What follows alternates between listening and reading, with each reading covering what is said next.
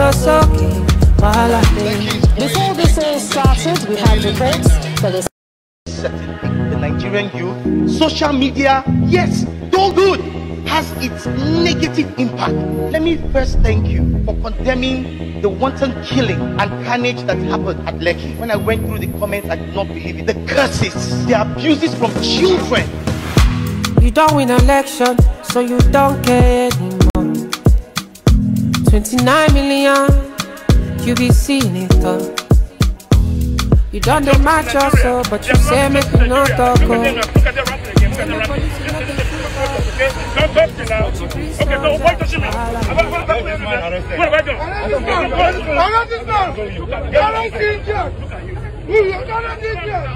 Can I have We will not forget and we will not stop crying. October 20th, 2020 was the day innocent Nigerians were killed, were massacred at the Lekki toll gate. I am Julie Uche and I am a proud Nigerian. Today marks the one year anniversary where we lost our heroes. And today, in solidarity, we decided to move out and have a peaceful protest. Today, we stand in solidarity. We stand in solidarity and we are crying and we will not stop singing. We will not, will not stop screaming. We will not stop, stop speaking to the authorities to do something about the massacre on Lekki toll gates. Hi guys, if you're new to my channel, thank you for hopping in. In my space, I talk about social issues that affect our people. I talk about our realities. Sometimes I talk about things like this because they matter to our essence. I'm a Nigerian, born and bred. I was one of those people who came out on October. I celebrated my birthday last year, October 17th, right at the toll gate. I had a live video. I experienced the euphoria. I experienced everything. I saw people speaking, crying, praying for a better Nigeria. But unfortunately, just when it looked like um, our movement was beginning to make sense, as if it, it- when it suddenly looked like we were beginning to get the attention of people from far and wide, some people, some people in power, decided to shut our lips. Um, it's been one year. A lot of young, innocent Nigerians were killed at the Lekki toll gate, and we're still screaming. We're still remembering these fallen heroes, um, and we know that one day justice will be served in the right proportion. Today, 20th um, October 2021, marks exactly one year we lost these heroes, and we are back. We are back. We are back at Lekki Toll Gate to tell the government, to tell people, to tell the world that we will not be silenced no matter what. We are Nigerians. We believe in Nigeria, and we know that regardless, things will get better. Um, we will get what we want, and of course, justice, like I would always say, will prevail. So all the Nigerians out there who are speaking up, who are also remembering these heroes, God bless you. Um, I'm going to say God bless Nigeria. Um, guys, just follow me while I take you through the journey of what happened today, 20th October 2021. And right now, I'm so speechless. I have so many things to say, but I'd rather not say them. Um, you're probably going to be watching videos, clips of previous events that happened at the Lekki Toll Gate, and I'm going to be sharing some recent um, things of the things that happened also today on the one year anniversary. The EndSARS Memorial one year anniversary was a success with a lot of notable Nigerians coming out, um, like Folari, um, Bad Guy, popularly called the Bad Guy, who actually started and actually was a lead um, person um, in the EndSARS movement. So it started um, with a message being shared on 19th that people should come for a car procession um, between 8 a.m. to 10 a.m. and it was impressive to see Nigerians responding and really coming out you know from their comfort zone to be a part of this memorial um, for the fallen heroes and people who died at the toll gate. Until then, you will not commit any offense. Estas! Estas! Estas! Estas! Estas! Estas! Estas! Estas! Estas! Estas! Estas! Estas! Drop a rose! Drop a rose! Drop a rose! Drop a rose!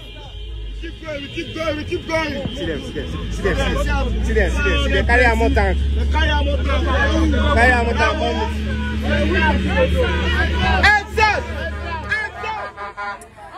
and other notable influencers like Steph Busari also went live on her Instagram page to show um, what happened um, on 20th October 2021. Um, it's very peaceful. The things have not escalated in the way that we hope to, even though the protesters.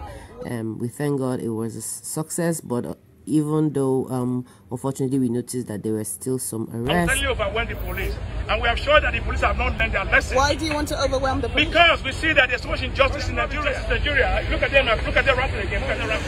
Okay, don't talk to now. Okay, no, what, what, what, what, what have I done? Arrest this man! Look at you. I have a lot to say, um, but you know, for now, this is for the fallen heroes. Um, God bless Nigeria. We're here and we hope that things will keep getting better.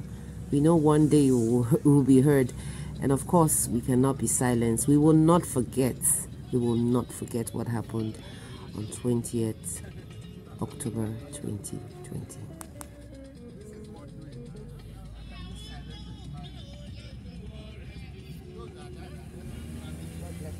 For everybody who believes in a great Nigeria, we know that our dreams are valid and our voices will be heard. We will not be silenced, we will not be bullied. We will not stop talking about the things that has happened and we know that we're going to see a better Nigeria. Sorosoke. This Sorosoke generation is here to stay and we will not stop Sorosoke. God bless Nigeria. God bless every Nigerian youth out there that is working hard, that is trying to make and see things work and get better. And we know that we will get to dreamland very soon. At this point, I think I just would end this by saying, I believe in Nigeria.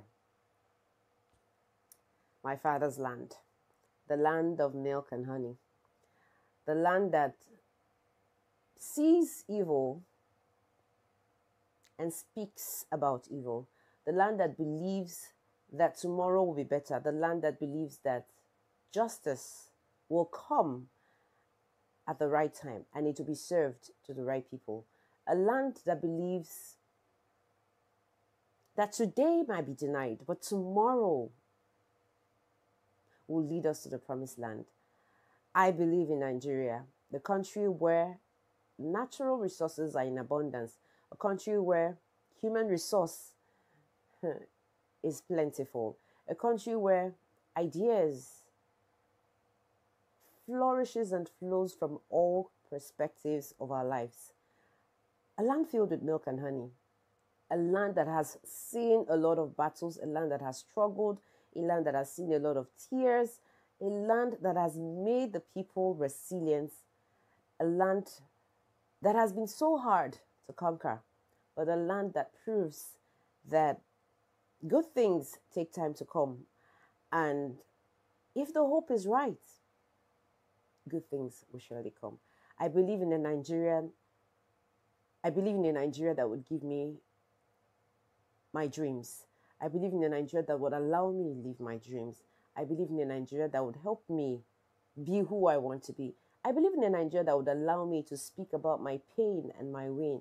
I believe in a Nigeria that I will be able to live in and prosper in. I believe in Nigeria because as Nigerians, we believe this is home and we can't run away. We're here to protect, to fight, to live, and to see ourselves flourish into being better people. And of course, having a better economy. Uh, Arise, O compatriots, Nigeria's call obey. To serve our father's land with love and strength and faith. The labor heroes past shall never be in vain. To serve with earth and might, one nation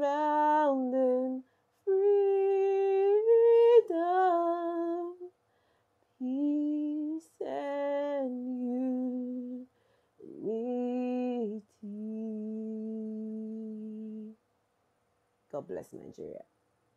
Sorosoke. Nigeria. Am I owing anybody money? Uh, it's my rights.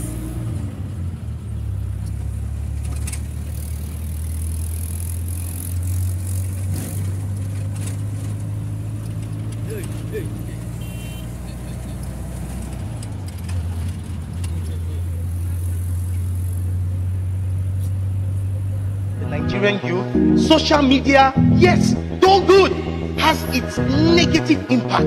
Let me first thank you for condemning the wanton killing and carnage that happened at Lekki. When I went through the comments, I did not believe it. The curses, the abuses from children. You don't win an election, so you don't care. Then they kill us, so that's okay. Before this all started, reports